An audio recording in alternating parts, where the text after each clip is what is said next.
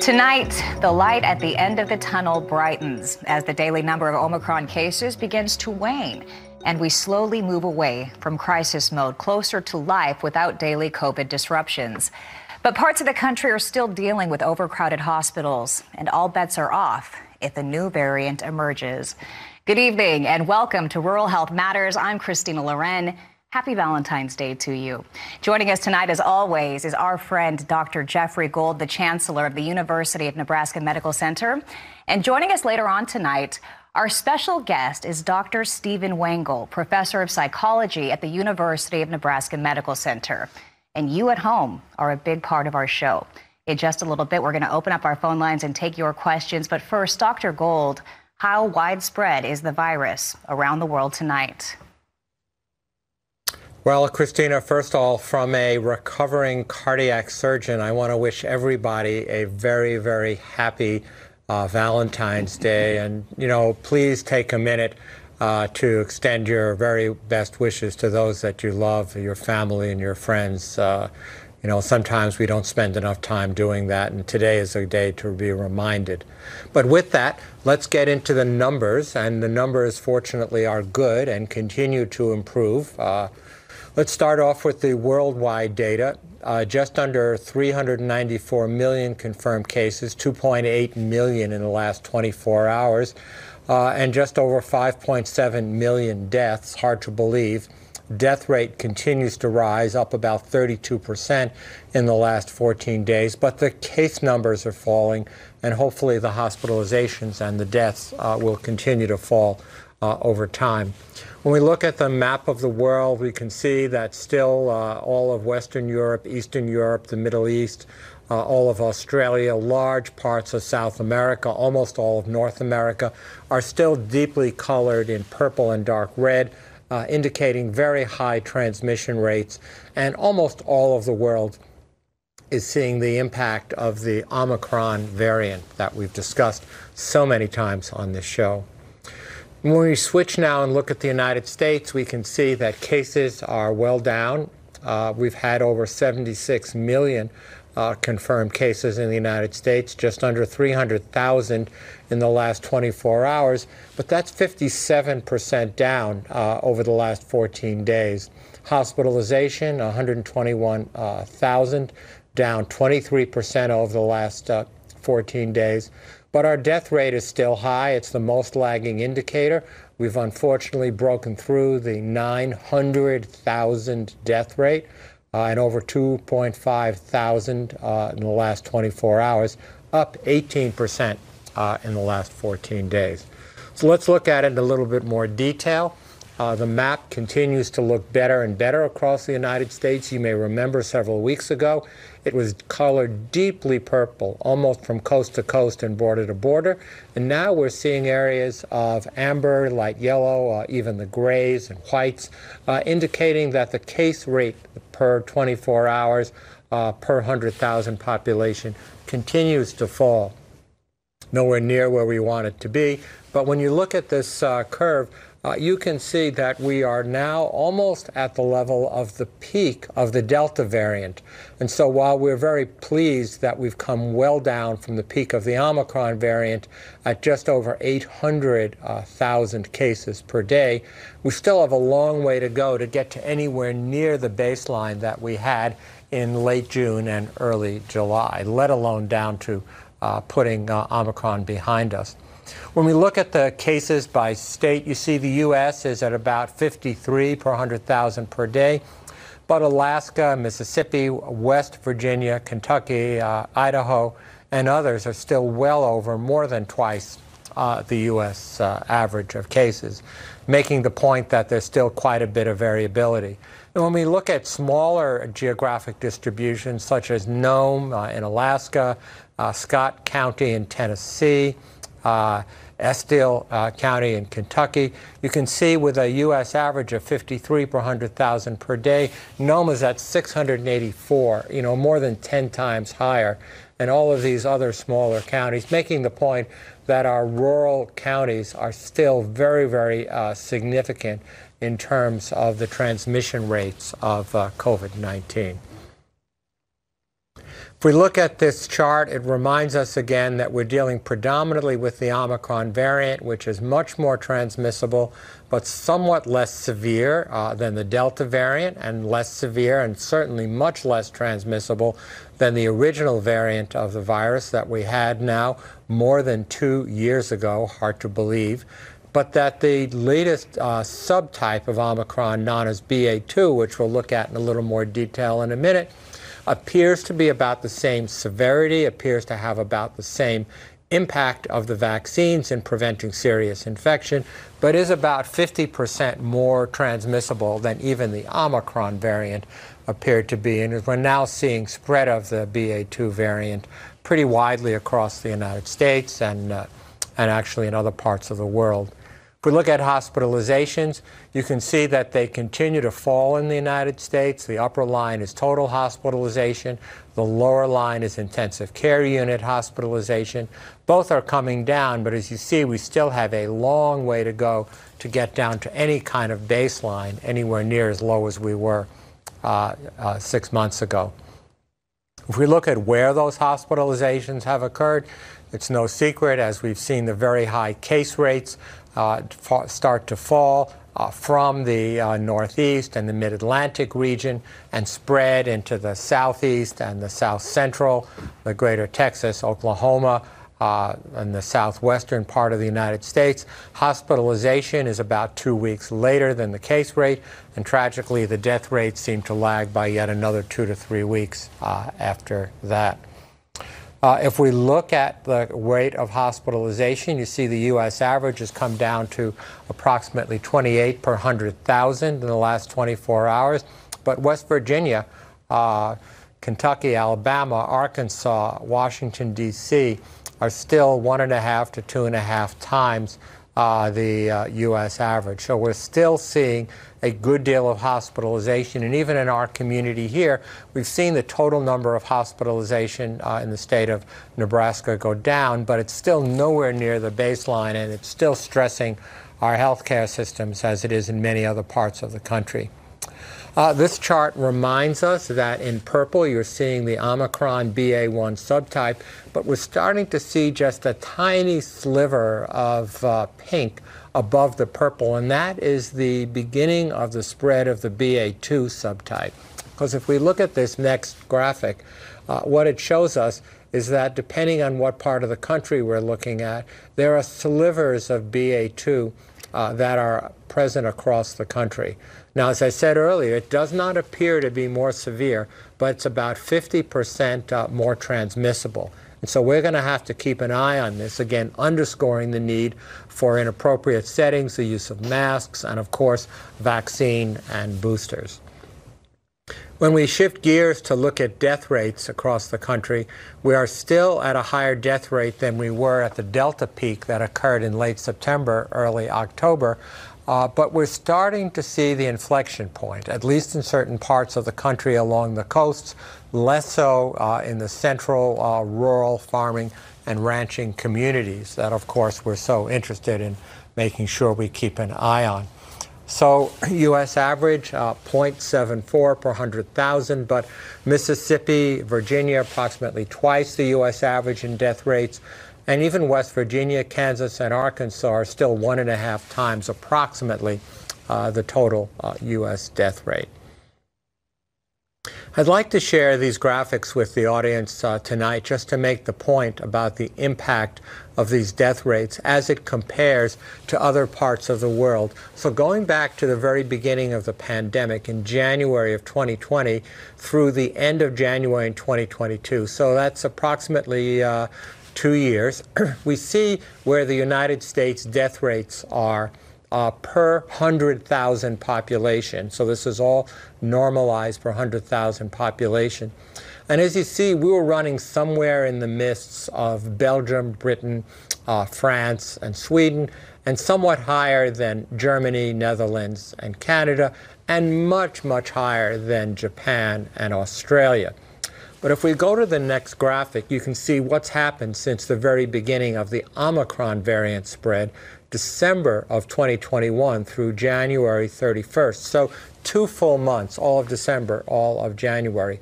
And what you can see here is that the United States has significantly more deaths per 100,000. So the Germany is peaking at about 18 to 19 uh, per 100,000. We're at about 32, 31 to 32 uh, per 100,000 population uh, per week, this is, by the way. And the explanation for that is actually found in some of our vaccine curves. So this looks at the in United States compared to all of the other countries uh, from the first access to the vaccines. You may remember it was almost a year ago, a little bit more than a year ago, that the mRNA vaccines, the Pfizer and the Moderna vaccines, became available. And as you see, for a very long time, for the first, oh, I would say six to seven months, the vaccination rate in the United States far exceeded Western Europe, Australia, uh, Japan, and Canada. But over the last six to 12 months, that curve started to flatten and other parts of the world, particularly the higher income countries of the world, started to take the lead. And if we look at boosting, it's even a more profound story than that. And what you can see is that Belgium, Britain, Germany, the Netherlands, France, uh, Canada, Sweden, and Australia have all exceeded us since the boosters became widely available in the beginning of August of this year. And that clearly tells the story of why we are seeing more Omicron mortality uh, than the other parts of the world. So why don't we stop at this point, uh, and we can come back to these graphics a little bit later when we get some questions about long COVID. Absolutely. Well, we have so many questions tonight. We're in this really bizarre kind of gray area right now. We've heard from a number of states that they're considering, and some have even made the call to go ahead and ease up on mask restrictions. But we've been burned before, Dr. Gold, and we don't want to get our hopes up right now. Could this actually be it? Could we actually finally be on the good side of this pandemic? You know, Christina, I certainly hope we are and we certainly could be. But as I like to say, hope is not a plan. And so we make decisions around what I like to refer to as an abundance of caution. And so we are still leaning very hard on not just vaccination, but boosting across all ages that are eligible. And I'm sure we'll unpack that in a few minutes. And we're also still uh, using masks here uh, at the medical center and in large uh, social gatherings across the community. We will know within another month, I would guess, as to whether or not there's going to be another very significant variant that will get us to uh, rethink some of our precautions. But right now, uh, we are trying very, very hard to maintain the best non-pharmacologic interventions that we can and continue to strongly recommend for all eligible age groups vaccination and when uh, appropriate uh, boosting because we know that that will continue to protect our population, slow spread, keep our kids in school, keep our churches and synagogues open, keep our hospitals you know, accessible to all those who need them, open physician offices, take care of the crowding that's occurring in pharmacies and other areas. So for all of those reasons, and mostly uh, to get our lives back with all the frustration and the and the wear and tear that we've had, uh, we'd like to make sure that this is behind us and that we're not opening the door to another big wave of transmission. Mm, but we should have more information on that within another month. That is really helpful. That alone, I think all of us can hold on for another 30 days, especially because now we have this optimism kind of moving us forward, the wind beneath our wings right now. So many of us are looking forward to life beyond the pandemic. But one of the big game changers has been the booster shot we know that it can offer significant protection against the virus.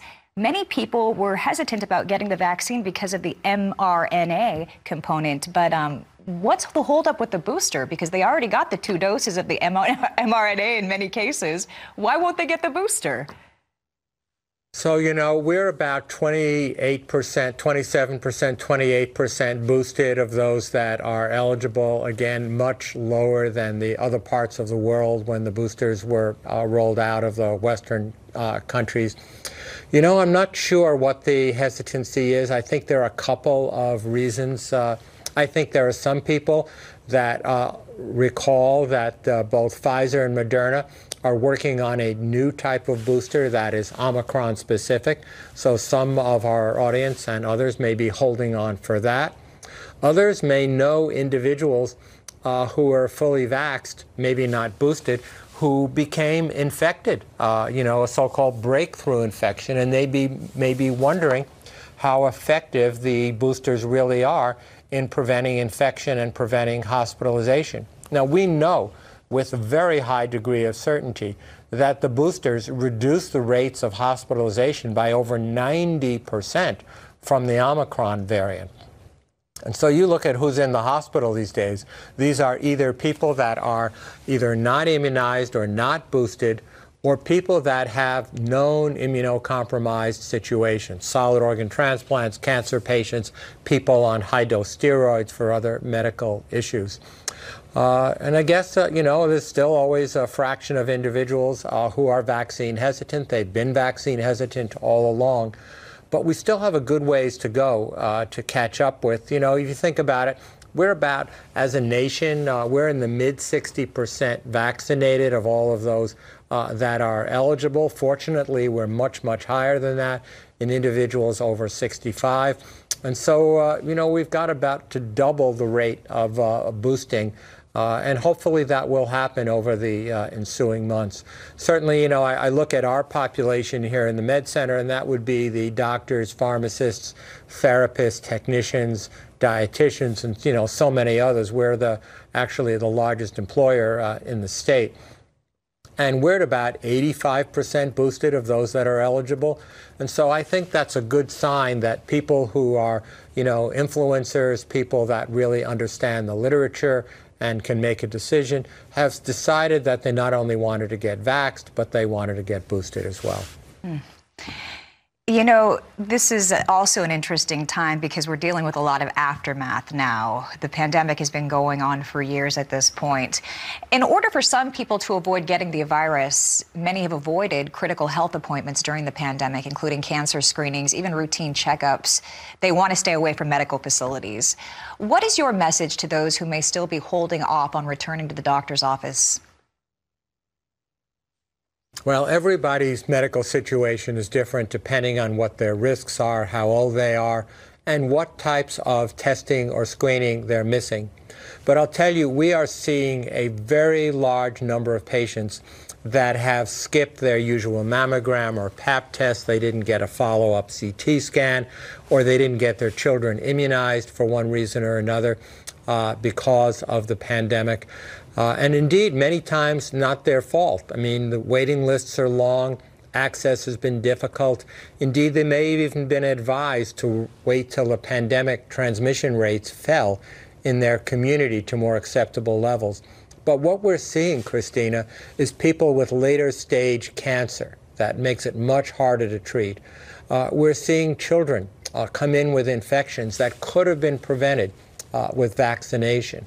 And indeed, as our audience may know, our children's hospitals are packed with children with respiratory infections, including COVID and flu and RSV and, and other related respiratory infections, many of whom you know, are as young as six months that are now on ventilators, and unfortunately, a small but definite number have actually lost their battle uh, with COVID. And uh, I think the number I saw through the end of December was about 650 children had lost their lives that we knew of for sure, but 265,000 were hospitalized uh, up to that point.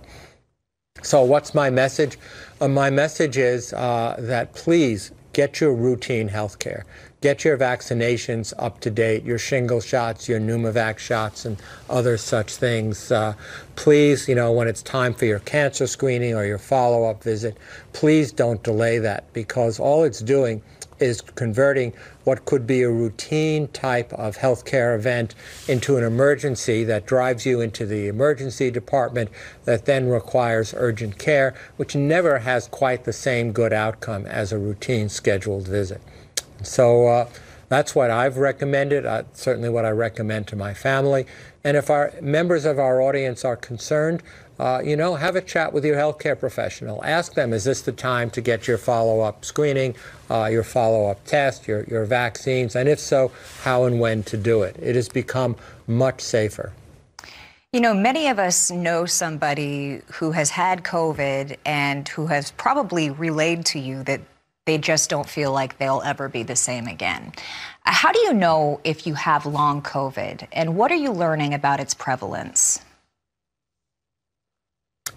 Well, first of all, we are learning that long COVID is extremely common. As a matter of fact, in a recent study done uh, and published in the British Medical Journal, looked at over 130,000 individuals uh, that were diagnosed with COVID, most of which actually were not hospitalized, that about 35% of them, a full third, had COVID long symptoms. That means that in the definition of their study, more than three weeks after they were no longer symptomatic with COVID, long after they were back to work, back to school, whatever they were doing in their routine life, between that point, three weeks later, and during the following six months, a full third of them had symptoms. Now, most of those symptoms were shortness of breath, exercise intolerance, fatigue, but if we go down the list, and we actually have a graphic, perhaps we can pull that next graphic in the set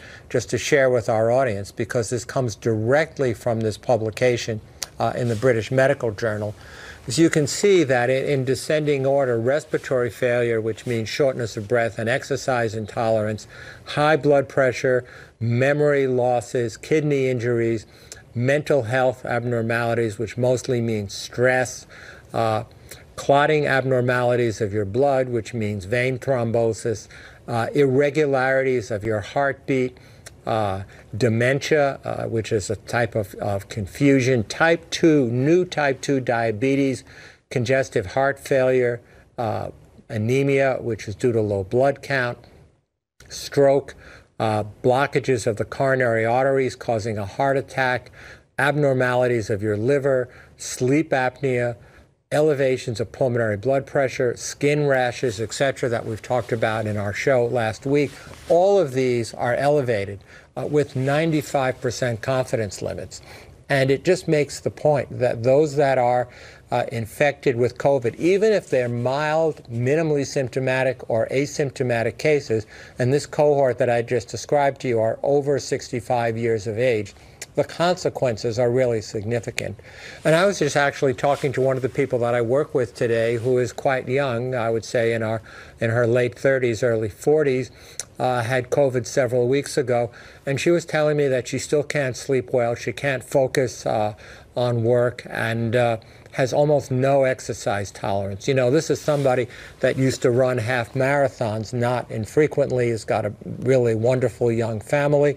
And uh, unfortunately, you know, up one flight of stairs or two, and she's short of breath. And, uh, you know, I'm hearing that more and more and more. So, in answer to your question, Christina, I think people who have long COVID, they know it. The good news is that there are treatments for each of these sets of symptoms. The bad news is we don't know how long it's going to last for. So again, we need to do everything we can to keep uh, the COVID rates down, keep people out of the hospitals. And that's particularly also true in our children. You know, we hear, uh, again, uh, it's not a full third of children uh, that get long COVID, but it's at least one out of 10, and it may be uh, two out of 10 kids uh, get some sequelae to uh, hospitalized or not hospitalized uh, COVID. So again, when those vaccines and boosters are available for the younger uh, children, uh, they need to roll up their sleeve as well. Absolutely. Wow. 20% chance for our little our little ones. We care so much about our children. You bring up such an important point, Dr. Gold. And you put it into perspective, which is why we love having you on this show. If you at home have a question, why not give us a call tonight? Dr. Gold is here for you. We're going to pause for a quick break, but we still have time for your call. The number is 877 731 6733. We're here for you on a Valentine's Day. When we come back, Dr. Steven Wengel, professor of psychology at the University of Nebraska Medical Center, will join our conversation to talk about the impact the pandemic has had on our mental health. We'll be right back with more. Welcome back to Rural Health Matters. I'm Christina Loren. Joining us once again, world renowned Dr. Jeffrey Gold, the Chancellor of the University of Nebraska Medical Center. And now we welcome our special guest, Dr. Steven Wengel. Now, he is the Assistant Vice Chancellor of Campus Wellness for the University of Nebraska Medical Center, also a practicing geriatric psychiatrist.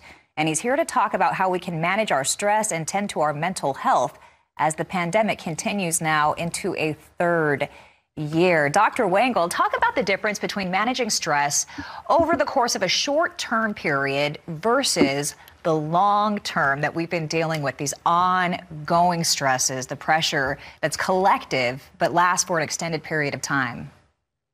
Great question. Good evening. Um, I think that's really the key to this whole whole thing, right? that uh, the pandemic is like a marathon, but it's a marathon where we keep changing the finish line, right? Uh, as the two of you talked about earlier in the show, and I think that's really one of the hardest parts of this is the uncertainty. You know, when's it going to be over? You know what does being over actually look like and so forth. And i think that's what contributes to a lot of the chronic stress that we're seeing just uh, that that kind of chronic uncertainty. And i think it's also the notion that uh, we've all been on kind of high alert. You know our brains have been uh, you know under a lot of stress as we anticipate you know things or, or worry about things with the pandemic for a long time. We're the body the body is really pretty amazing of course right? It's an amazing structure and we're built to be able to take stress but we're not really designed to take chronic stress that's this long two years and counting. We can do it. We're doing it. We're adapting but it's not really we're not really designed for this. And so when that happens um, one of the things that we know is that cortisol levels are high. Cortisol is a stress hormone that our body makes. It's a really good thing to have uh, and, but it's really intended for acute stress like uh, you know god forbid you're in a car accident or something like that you know your body puts out cortisol to keep you alive um, but when you're under chronic stress like the pandemic our body's been cranking out cortisol at a higher than normal level for a long time. And that produces a lot of um, a lot of the symptoms that we're seeing, a lot of the stress symptoms, the insomnia, and things like that. It's it's such an interesting time because we don't know what the history books are going to say about this pandemic. If you talk to people who lived through the Great Depression, they'll say they didn't really even notice at the time as they were going through it just how hard it was. So I have to wonder are some of us just continually coming to terms with the pandemic, going through the various stages of grief over and over again? Is that how we're processing all of this? I think that's a good way to look at it, right? Because I think we've all had to um, make so many big adjustments. Who hasn't given something up, a graduation that they couldn't attend, or a funeral, or some other event, or a vacation, or a family get together they, they've had to put off? Not to mention actually losing loved ones, of course, sadly. So I think you're right. I think it has been kind of a, a roller coaster ride of, of grief symptoms. Um, and I think it'll continue for a while too. As you say, the history books are being written. This is, uh, in a, in a sense, kind of a huge sociological and psychological, as well as an immunological experiment. And I think the consequences of this will only be known down the road a piece. Yeah, it's really, really tough. You know, I find myself, I don't even go to the grocery store anymore. I'm ordering everything. It's very rare for me to actually leave my home, which means I'm cutting off communication with other humans. And I wonder how down the road all of this is going to play out. Now, we are going to go back to this conversation because I know a lot of people have a lot of questions about the pandemic and mental health. But we want to bring Cheryl in. Cheryl joins us from Florida. Thanks for joining us. Go right ahead with your question tonight. I sure appreciate this opportunity. I hope you can understand me. I actually have COVID while I'm asking this question. I'd like to know if Dr. Gold knows when we might have Novavax in the United States. I understand it's gone in front of the FDA. Yep, that's a great question, Cheryl. And first of all, uh, I hope you recover quickly, and I really hope that you don't end up as one of the uh, long COVID uh, patients. Uh, you sound pretty good to me on the phone, and so uh, that makes me feel very optimistic.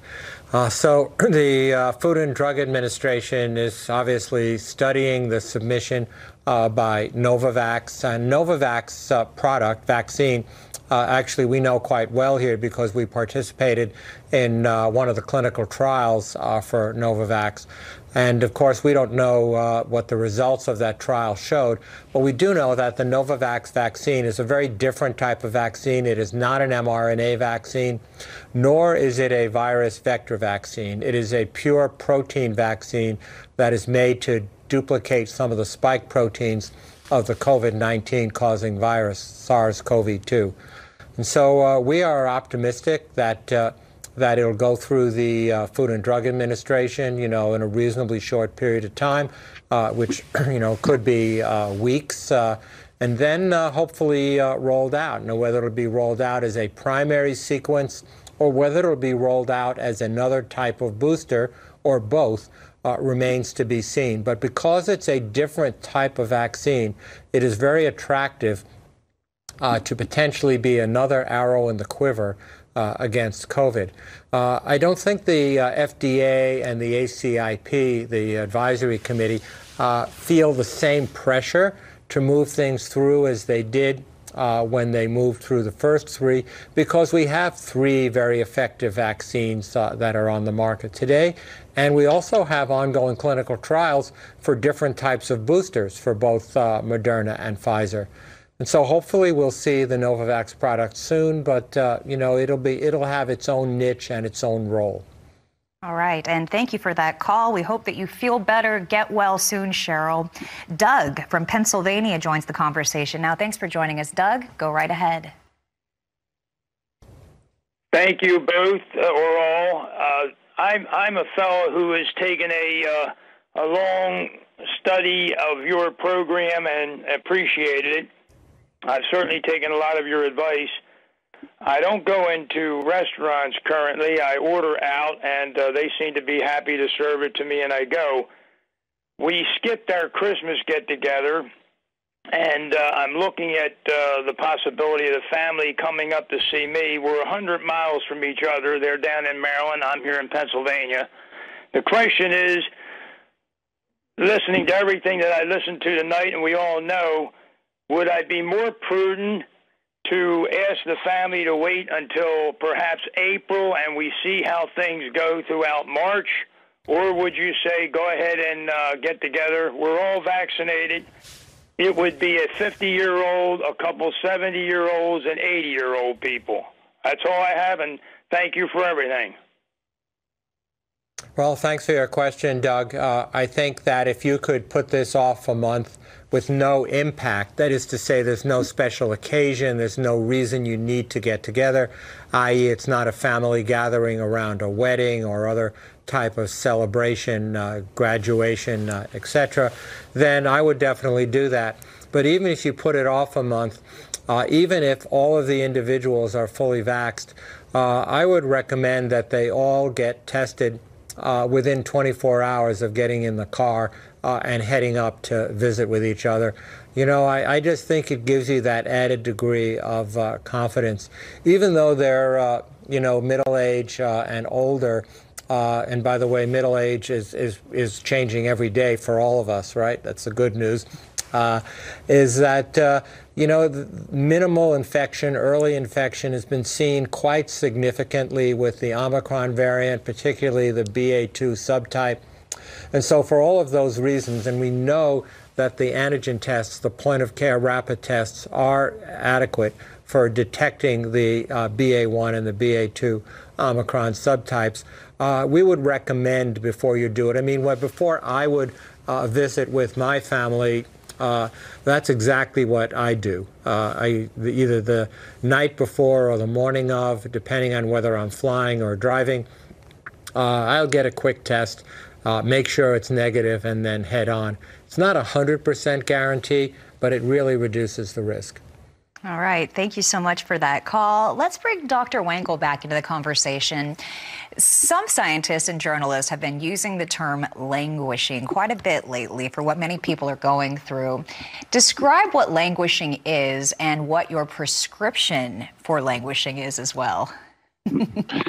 Yes, thank you for that. Incidentally, I apologize for having to hold this microphone up. We've had some technical difficulties. I'm told I have a face made for radio anyway, so it's better that you hear me than see me. But uh, yeah, languishing is an interesting term. It came out. Um, it's been around for a while. I mean, the the the word, of course, has been around forever, but used in this context, uh, there's a New York Times article last year where they talked about languishing is probably the prevalent prevalent mood of the country, and this is again a year ago. So languishing is not depression. Uh, it's not quite burnout. It is a uh, kind of a combination of a case of the blahs, where you don't have as much energy and motivation as usual, and maybe not quite as much optimism as usual, and yet you're also kind of restless at the same time. So it's an interesting blend of kind of the blahs and restlessness. And it's really, really common. I give a lot of workshops, as Dr. Gold knows, uh, here on our campus and in the community, and I talk a lot about languishing, and I see a lot of people's heads nods, head, heads nod that yeah I I'm, I'm not depressed. I'm not down in the dumps but i just don't have quite the spark that i used to have. It's real common. I think that's one of those consequences of having too much cortisol floating around for this this period of time at least you're giving it, you know, you're giving us a representation of what's happening. And it's funny because we're living in it. So it's hard for us to really tell what's happening in our bodies. It does make me wonder, though, what happens to our bodies when we feel stress physically? For this long, is this actually kind of changing the way that we think now that this has been going on for so long? It, it, probably, I mean, it is certainly in the short run. What are the long-term consequences? We don't know. I think we'll we will heal from this, but it will take some time. So even if we could, you know, kind of wave a magic wand and make this virus disappear off the face of the earth today, we would still need some time to heal, you know, our, our psyches as well as our bodies. Um, we're adaptable. We're a very adaptable species, you know, so we will get through this, but it's going to take take some time. What does that chronic stress do? Well, you know, that cortisol, one of the consequences of too much cortisol is it shrinks temporarily, shrinks our uh, hippocampi, and the hippocampi are the short-term memory parts of the brain. So a lot of people are reporting they feel a little more forgetful than usual. Um, I'm a geriatric psychiatrist, as you mentioned earlier, and so you know I see patients over 65, some of whom actually have things like dementia. But I think a lot of my older patients feel like they have dementia when they don't, you know, because of the stress. Um, again, that's a that's a fixable problem and a and a treatable or a, a something that will correct itself when the stress uh, go, you know, abates. But in the short run, it's it does cause that. That's one of the common side effects that we see. You know, for those of us who aren't able to readily go out and take a walk or do some of these other activities that can help us de stress, um, you say that breathing for a few seconds at a time can help you feel better. Can you show us what you mean by that? Yeah, it, it turns out when the scientists have studied um, things like meditation and mindfulness and yoga and some of these other time tested um, uh, avenues to, to peace, one of the common elements is most of them, maybe not all of them, but most of them um, promote slow, deliberate breathing. Normally, you don't think about your breathing, right? You just sort of do it.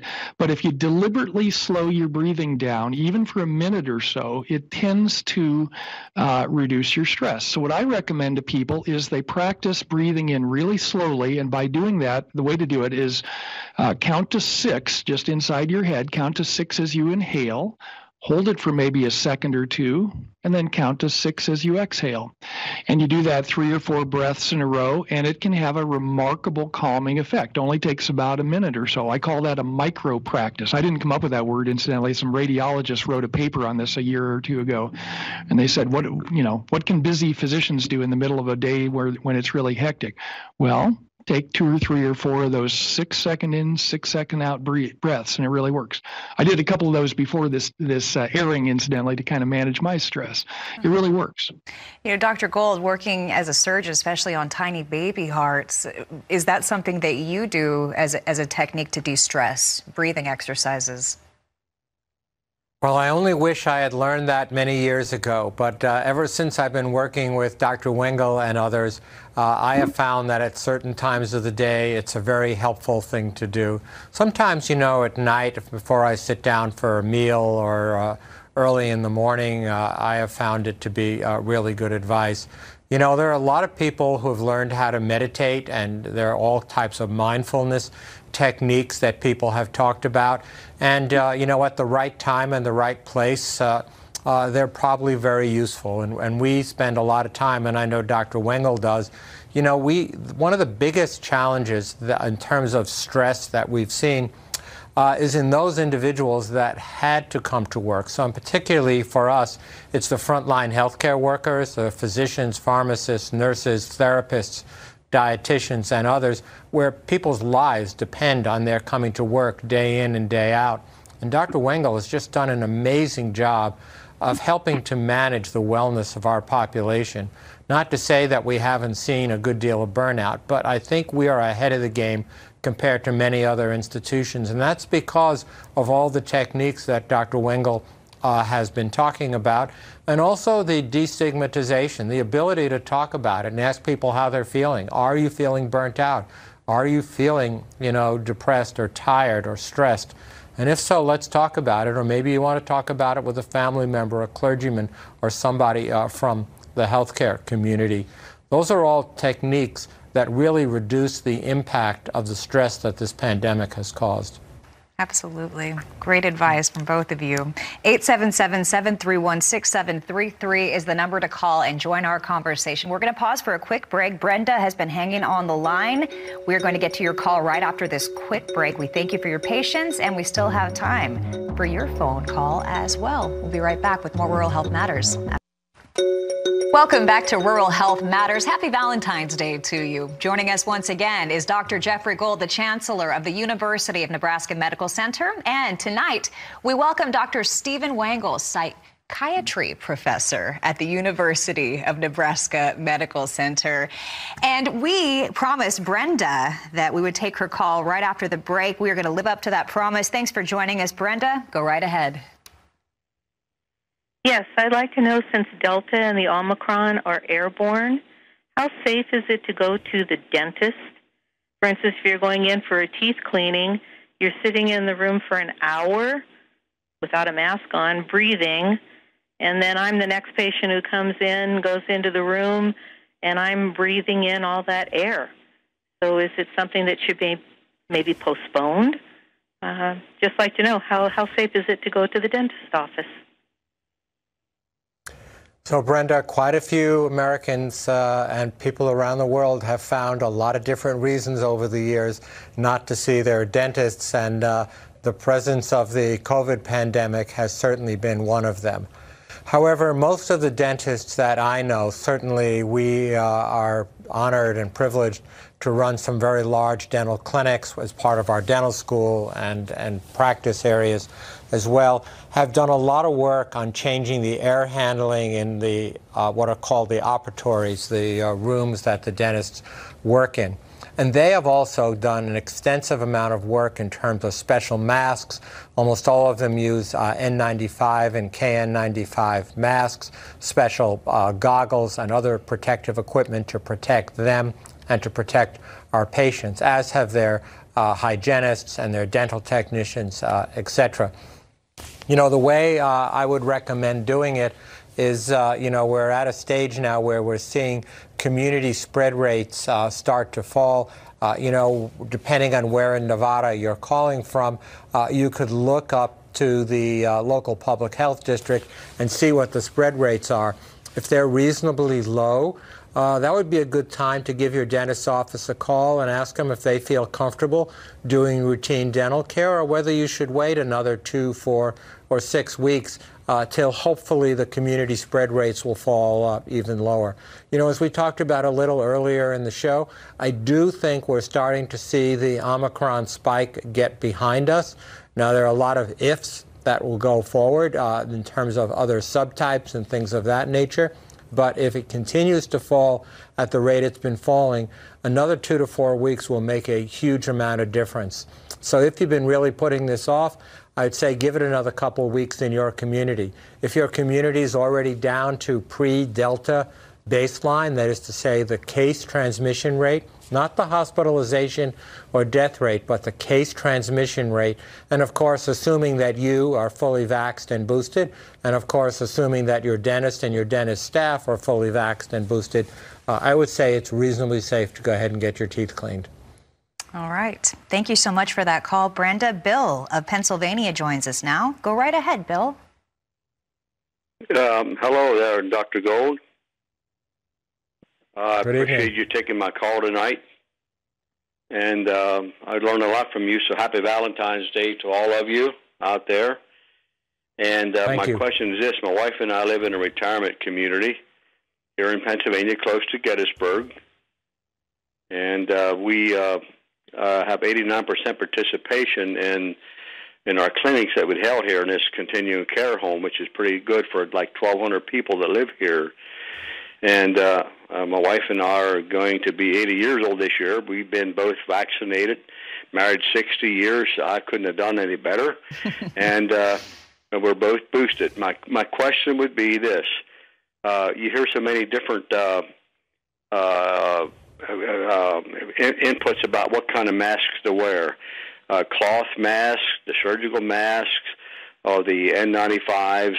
And my question would be this uh, what, what do you suggest that we wear to be safe? Because I wear them when I go to the grocery store. I wear them when I go to pick up my mail. I wear them. I'm very religious about this. Like I said, I lost some family members, and family members uh, in my family were very conservative here in Pennsylvania. They don't get the shots, and I have a brother-in-law right now and a niece that's uh, sick with the COVID. Thank you for your help. Well, thank you for your kind words, Bill, and uh, appreciate uh, your watching the show. Uh, so, in terms of two two comments, uh, unrelated. One about masks. The N95s and KN95s are still the best because they have both a filtration effect and they also have a uh, electronic charge built into the material so that they actually trap the aerosolized particles. Uh, and so they are the most form-fitting and indeed they are the most efficient at protecting you and protecting others.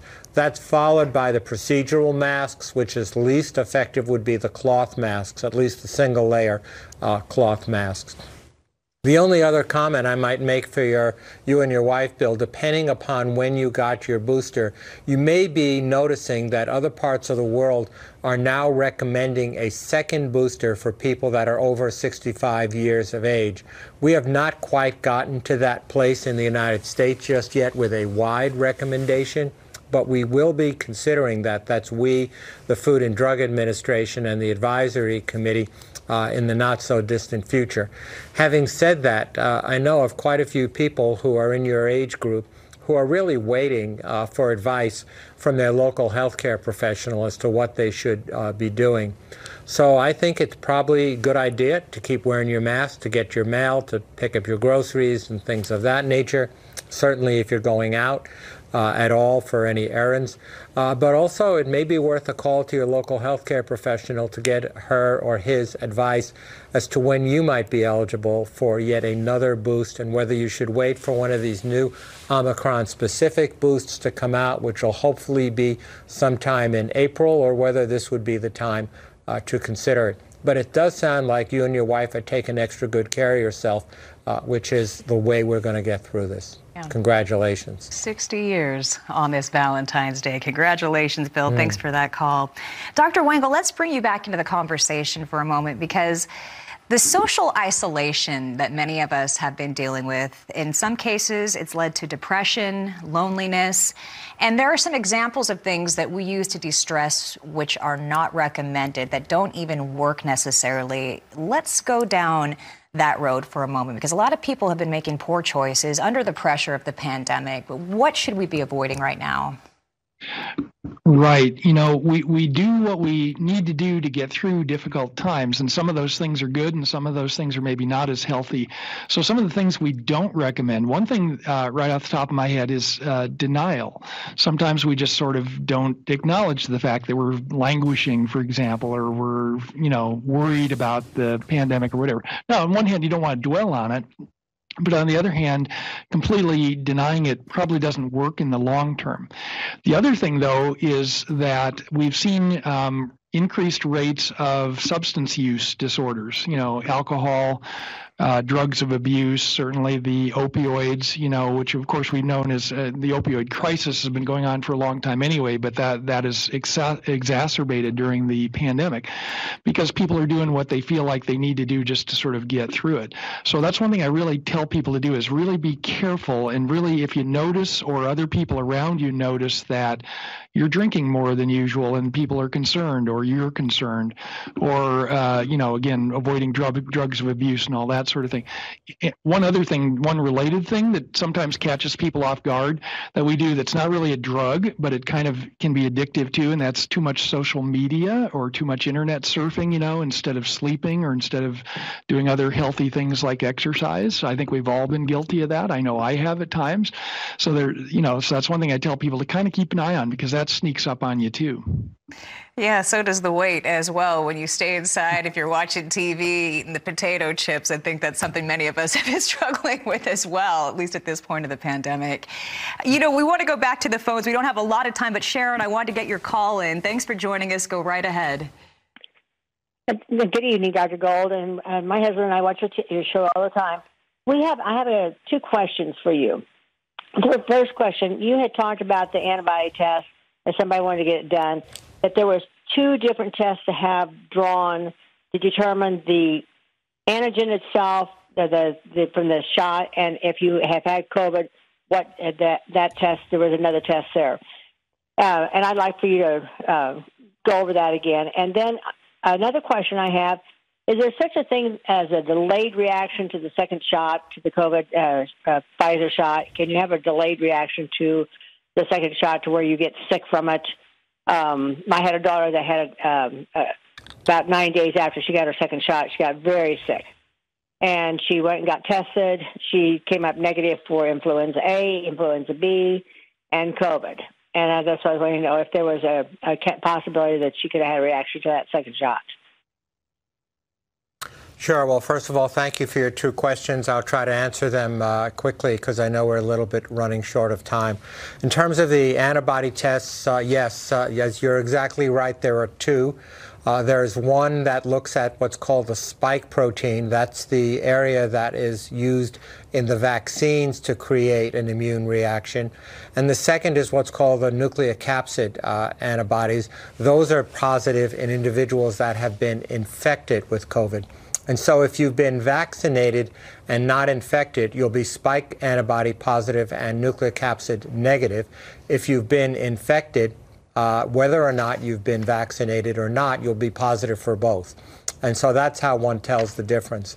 And as far as delayed uh, vaccine reactions are concerned, uh, I'm sure that there's a variability, but to be have minimal or no reaction and then to have a delayed reaction eight or 10 or 15 days later, uh, to me, that would result in a call to my local healthcare professional because that would be quite unusual. What we normally see is within 24 to 48 hours, we see some uh, loss of sleep, a little bit of headache, some lightheadedness, possibly some very low grade temperature. Uh, it could be nothing, but something along those areas, and certainly some soreness of your arm.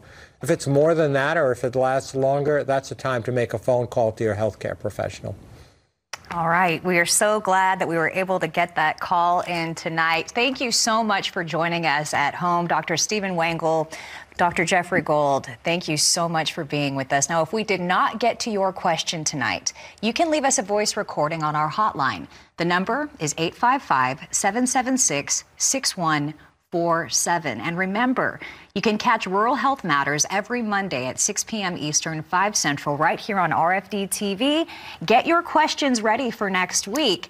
We will be here for you. Probably the only television show where you can ask your questions about the virus live and get an answer just like that. from one of the world's leading medical experts. We'll see you next week. Hope you and those you love have a beautifully blessed Valentine.